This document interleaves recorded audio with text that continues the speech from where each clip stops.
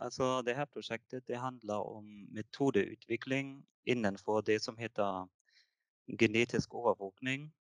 Og det handler om, altså om overvåkning av laksefisk, som er jo veldig um, relevant i regulerte elver også. Um, på det her prosjektet som flere NINA-forskere skal jobbe med, det er på ca. 500 000 kroner så skal vi altså se på et estimat som heter effektivt antall gytefisk. Jeg skal forklare hva det er. Um, det foregår jo mye konvensjonell overvåkning i dag um, på laksefisk. Og på det bildet her ser man f.eks. noen forskere som svømmer i elver som teller laks. Og det handler altså mye om bestandsstørrelse, men også altså hvor mange fisk er det i elva. Men også om kartlegging av gytehabitat og kartlegging av rekruttering gjennom ungfiskundersøkelser. Men så fins altså også genetiske alternativer som kan være veldig effektive, også kostnadseffektivt. Um, og det ble i dag brukt mye for å estimere innkrysning, genetisk innkrysning fra oppdrettslaks inn i ville populasjoner. Men også for å spore kultiverte fisk innen elva. Og også for genetisk tilordnede fisk som er fanga i havet til enkeltbestander. Og så har vi altså i et tidligere Open Calls-prosjekt, som nå er avsluttet, um, sett på genetisk overvåkning hvor man estimerer bestandsstørrelse av laks gjennom noe som heter closken mark recapture. Jeg skal forklare det senere hva det er. Og i det her nye Open Quartz-prosjekt skal vi altså se på et estimat som heter effektiv bestandsstørrelse. Prøvene vi bruker for dette, kommer fra en liten lakseelv her i Trøndelag som heter Vikta. Og da bruker vi altså prøver både fra voksenfisk og ungfisk. Og vi har tidligere, i de første prosjektet, har vi brukt prøver fra 2018. Og så nå skal vi utvide med prøver fra 2019. Um, og da har vi ca. 300 ungfisk og 120 voksenfisk per gyteår. Veldig kort om det vi gjorde i første prosjektet.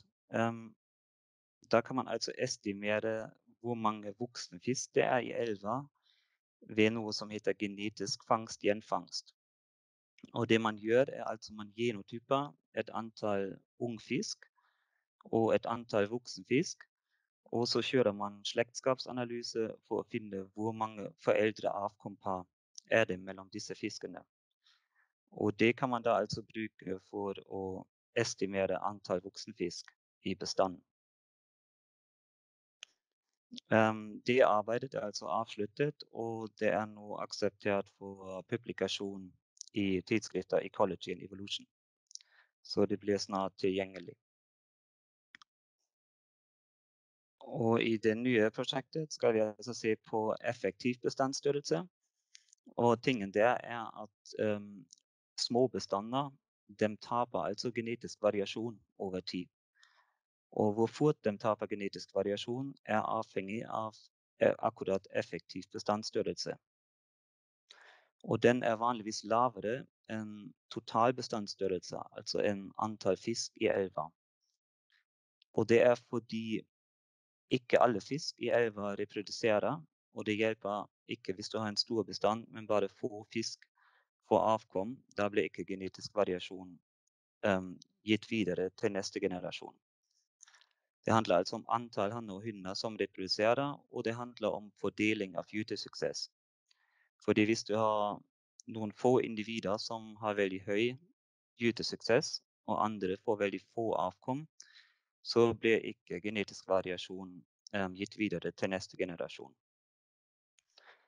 Um, effektiv bestandsstørrelse er altså veldig viktig for overlevelsen av bestanden. Og det kan man da um, overvåke med genetiske metoder.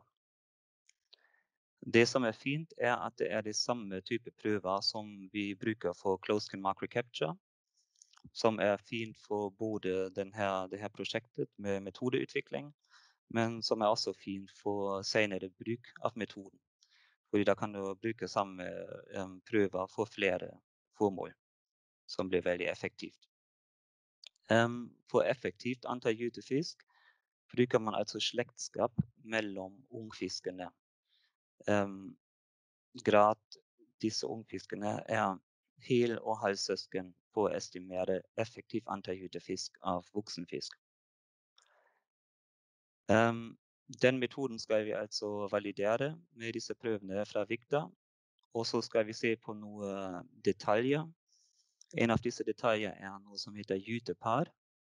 På bildet store, den store fisken er en anadromlaks som har vært i havet og vokst seg stort og kommet tilbake til elva for å konkurrere om hunder på um, gyte. Og den lille fisken her det er altså en gytepar som ikke har vært i havet, men som har vært uh, um, kjønnsmoden i elva, og som kan altså bidra også. Ikke ved konkurrere, men ved noe slik fertilisering. Og i det, herste, i det, første prosjektet så har vi altså funnet at det er veldig høy bidrag av disse gytepar i elva. Og i det nye prosjektet skal vi bl.a. se hvordan det påvirker genetisk variasjon og um, effektiv bestandsstørrelse.